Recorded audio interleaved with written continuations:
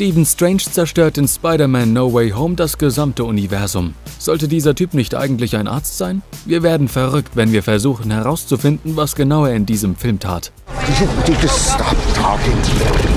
Der erste Überraschungs-Cameo-Auftritt, den die Fans in No Way Home bekommen, kommt von Charlie Coxes Matt Murdock alias Daredevil. Für MCU-Fans, die die Marvel-Serien von Netflix vor der Einführung von Disney Plus nicht gesehen haben, mag das keine große Sache sein. Allerdings eröffnet dies eine Welt voller Möglichkeiten, Phase 4 des MCU ernsthaft zu erweitern. Der Cameo-Auftritt selbst ist eher unbedeutend. In einer Szene in Peters Wohnung sehen wir, dass der coolste Anwalt Manhattans Peter als Klienten angenommen hat, während er mit den Folgen der Aufdeckung seiner Identität durch Mysterio und J. Jonah Jameson, der ihn für Mysterios Tod verantwortlich macht, zu kämpfen hatte. Allerdings wissen wir nicht viel darüber, wie es zu dieser Zusammenarbeit gekommen ist. Weiß Peter von Matts geheimer Identität? Hat Matt Peter aufgesucht oder ist Peter auf Matt zugegangen? This is Oprah. Who the hell are you? My name is Matthew Murdoch. I'm your attorney.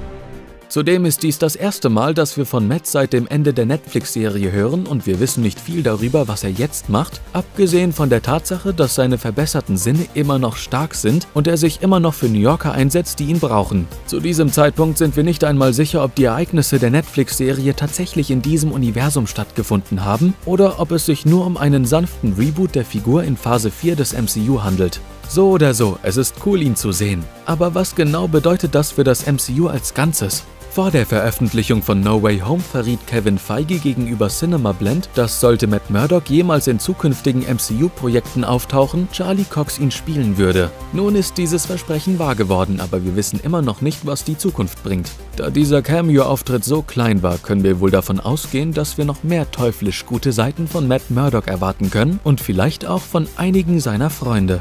2002 hat angerufen, sie wollen ihren Spider-Man zurück. Leider können sie ihn nicht haben, er gehört jetzt uns.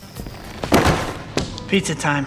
Ob Mary Jane Watson, Gwen Stacy oder Michelle Jones, Spider-Man wurde schon immer von einer Sache beherrscht, nämlich von der Liebe. In Tobey Maguires Spider-Man-Trilogie ist die Liebe zwischen Peter und MJ das Fundament der Filme. Egal wie oft sie sich versöhnen und trennen, die Fans drücken ihnen immer wieder die Daumen, dass sie es doch noch irgendwie schaffen. Das Paar hat es im dritten Film nicht leicht, als Peter ein wenig aus der Haut fährt, aber in den letzten Momenten des Films versöhnt sich das Paar wieder. Die Fans werden mit der Gewissheit zurückgelassen, dass dieses Paar auf dem besten Weg ist, eine schöne, geordnete Zukunft aufzubauen. Doch in einem gewagten Schachzug wagt No Way Home den Schritt, den Status der Beziehung zwischen dem ursprünglichen Peter und MJ in Frage zu stellen. Als Tobey Maguires Peter gefragt wird, ob er jemandem in seinem Leben hätte, sagt er, dass es kompliziert sei. Oh Mann. Peter sagt weiter, dass sie es hinbekommen haben, was auch immer das bedeutet. Es ist unklar, ob er damit auf Probleme zurückblickt, die das Paar vor langer Zeit gelöst hat, oder ob die Lage zwischen ihnen immer noch angespannt zu sein scheint. Heutzutage ist diese Version von Peter Parker ein erwachsener Mann und die Fans würden sich wünschen, dass er sein Liebesleben inzwischen in den Griff bekommen hat. Mary Jane und Peter sind nicht unbedingt für ein Happy End bestimmt, aber wenn man bedenkt, wie sehr dieser Film ein Nostalgiefest ist, wäre es schön gewesen, wenn der Film diese Version ihrer Beziehung nicht in einer so komplizierten Lage gelassen hätte. Wir wissen, dass Ned Leeds ein Zauberer ist, wenn es um Technologie geht. Aber könnte er auch echte magische Fähigkeiten haben? Sicher, man kann jedem auf der Straße etwas von Dr. Stranges Hardcore-Zauberausrüstung geben, aber das bedeutet nicht, dass jeder sie benutzen kann. Wenn Magie so universell wäre wie Tony Starks Technologie, dann würde jeder Avenger zaubern und Namen annehmen. No Way Home ist so vollgepackt mit Inhalten, dass man leicht übersehen kann, dass Neds Vorliebe für das Erschaffen von Portalen nicht nur das Werk von Stranges Schleudering ist. Wir sehen nicht, wie Peter oder MJ versehentlich Portale mit Stranges Ausrüstung erschaffen, also kann man mit ziemlicher Sicherheit sagen, dass Ned aus dem einen oder anderen Grund über natürliche Zauberfähigkeiten verfügt. Zauberei ist ja schließlich nicht einfach. Mehr noch, mit nur einem Blick wird überdeutlich, wie beeindruckt Wong von Neds zufälligen Portalentwürfen ist. So wie es jetzt aussieht, sind Neds Chancen, Wongs Zauberlehrling zu werden, wahrscheinlich gleich null. Denn keiner von beiden kann sich an irgendetwas davon erinnern. Dennoch könnte dies ein Vorgeschmack auf eine ziemlich beeindruckende und unerwartete Entwicklung von Ned in zukünftigen Filmen sein. Die Mission des MCU Peters, alle Crossover-Bösewichte von ihren bösen Neigungen zu heilen und sie als produktive, gesetzestreue Bürger nach Hause zu schicken, ist eine noble Sache. Allerdings macht er sich nicht viel Gedanken darüber, was mit ihnen und ihrer Welt passiert, nachdem er sie alle in ihre eigenen Universen zurückbeförderte. Zuallererst kommt jeder Bösewicht, dem unser Trio von Peter Parker hilft, von einem anderen Punkt der Zeitlinie. Aus Tobey Maguires Universum stammt der grüne Kobold, der am Ende des ersten Films stirbt, Doc Ock, der im zweiten Film umkommt und Sandman, der aus dem dritten Film stammt. Dann gibt es noch Andrew Garfields Feind, die Echse aus dem ersten The Amazing Spider-Man und Electro, der in der Fortsetzung für Verwüstung sorgte. Wenn Peter jeden Bösewicht an den Punkt zurückschickt, an dem er sich befand, bevor er im MCU auftauchte, sie aber jetzt unerwartet gute Menschen sind, dann wird ihre Zeitlinie durcheinandergebracht, was unzählige Varianten hervorbringt. Denkt mal darüber nach. Wenn der grüne Kobold zu dem Zeitpunkt vor seinem Tod als normaler Mensch zurückkehrt, der von seinen bösen Neigungen geheilt ist, dann stirbt er wahrscheinlich nie. Wenn er nie stirbt, macht Harry nie da weiter, wo er aufgehört hat. Wenn das nicht passiert, dann stirbt Harry auch nicht. An diesem Punkt würde die Time Variance Authority einen großen Tag mit diesem Fall haben. Vieles von dem, wie dieses ganze Multiversum funktioniert, muss im MCU erst noch geklärt werden. Und bis das alles auf eine leicht verständliche Art und Weise geklärt ist, werden wir uns den Kopf zerbrechen müssen. Gegen Ende des Films spricht Dr. Strange einen Zauber, der die ganze Welt vergessen lässt, dass sie Peter Parker je gekannt hat. Als Peter Strange bittet, den Zauber zu sprechen, wenn noch mehr multiversale Bösewichte in seinem eigenen Universum auftauchen, scheint es derselbe Zauber zu sein wie am Anfang. Er lässt die Menschen Peters Identität als Spider-Man vergessen. Stattdessen löscht Strange dieses Mal Peter Parker vollständig aus dem Gedächtnis aller Menschen aus. Nicht einmal Ned und MJ wissen, wer er ist. Es ist tragisch, doch die Semantik des Zaubers ergibt nicht viel Sinn. Stranges Zauberei ist normalerweise nicht perfekt, aber dieser Spruch scheint so widersprüchlich zu sein, dass er eigentlich nicht funktionieren sollte. Wie kann ein Zauber dafür sorgen, dass die Leute vergessen, wer Peter ist, aber sich an Spider-Man erinnern, wenn Peter und Spider-Man doch ein und dieselbe Person sind? Sicher, Spidey trägt eine Maske und manchmal einen milliardenschweren Iron Man Nanotech-Anzug und ein paar wirklich gruselige Spinnenbeine.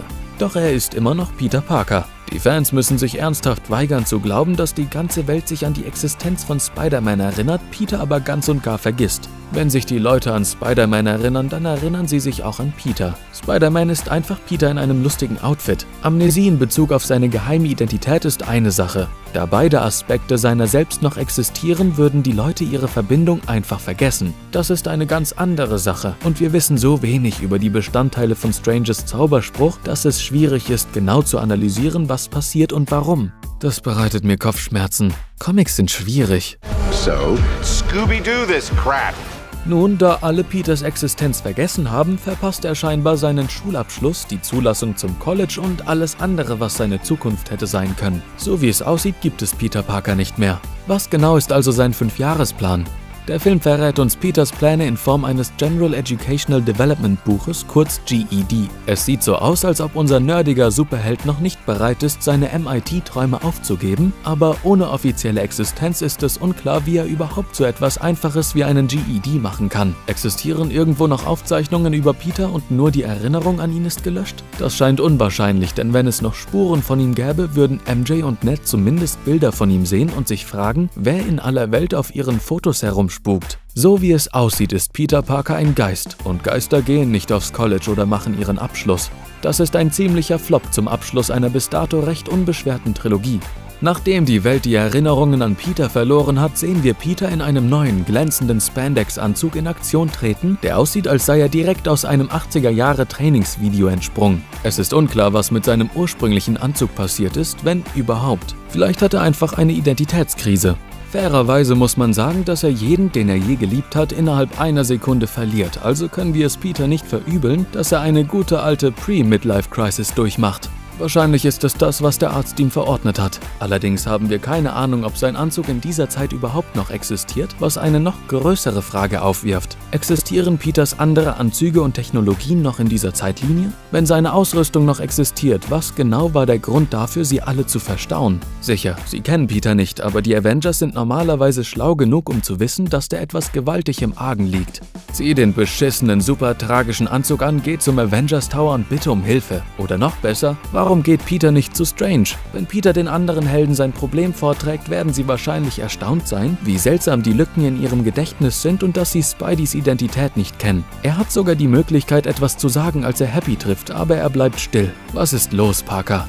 Gehen wir zurück zu den Ereignissen von Spider-Man Homecoming, als das alles noch einfacher war. Erinnert ihr euch an Vulture, der zwielichtige Vater von Peters flüchtiger Beziehung Liz? Es ist eine ganze Menge passiert, seit Peter sein Homecoming sausen ließ, um den schurkischen Vater seiner Verabredung zu jagen. Doch die Post-Credit-Szene des Films deutete die Zukunft von Vulture im MCU an. Eine Zukunft, die wir bis jetzt noch nicht gesehen haben. Eines der wichtigsten Merkmale von Vulture, alias Adrian Toomes im MCU, ist, dass er am Ende von Spider-Man Homecoming Spider-Mans wahre Identität kennt. Er weiß, dass Peter Parker ein Superheld ist. Das ist eine ziemlich große Sache. Wenn das MCU jemals Vulture zurückbringen sollte, wie wollen sie dann Vultures Wissen ausgleichen, wenn er sich nicht an Peter Parker erinnert? Würde er sich überhaupt daran erinnern, warum er im Gefängnis ist? Eine einfachere Frage ist, warum Vulture in diesem Bösewicht-Mashup nicht von Anfang an eine Rolle spielt. Stranges Zauberspruch rief Spider-Man-Bösewichte aus alternativen Universen herbei. Wäre es außerhalb des Bereichs des Möglichen gewesen, dass eine alternative Version des Vultures oder sogar Mysterio ebenfalls auftaucht? There are multiple realities, Peter. This is Earth, Dimension 616. I'm from Earth 833. Ihr ahnt es schon. Es fühlt sich so an, als wäre No Way Home am verwirrendsten, wenn es versucht, seine eigene Handlung zu rechtfertigen. Am schlimmsten fühlt es sich so an, als wäre das Ganze darauf ausgelegt, dass einige ganz bestimmte Charaktere auftauchen, unabhängig davon, ob es Sinn macht oder nicht. Nach der Post-Credit-Szene in No Way Home kribbeln unsere Spider-Man-Sinne.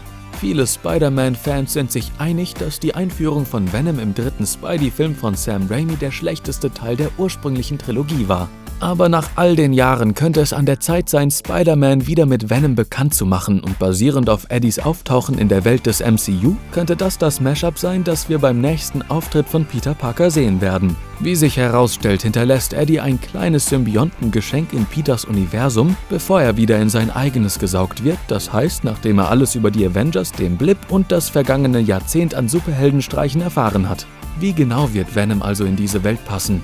Wer wird die heimtückische Bestie beherbergen? Es könnte sein, dass die Serie eine MCU-Version von Eddie Brock einführt, oder vielleicht wird der Symbiont für eine Weile bei einem anderen Bösewicht landen. So oder so, in diesem neuen kühnen Marvel Cinematic Multiverse braut sich in der Zukunft eine Menge Ärger zusammen. Schaut euch eines unserer neuesten Videos gleich hier an. Außerdem kommen bald noch mehr Looper-Videos über Spider-Man No Way Home. Abonniert unseren YouTube-Kanal und aktiviert die Glocke, damit ihr kein einziges Video mehr verpasst.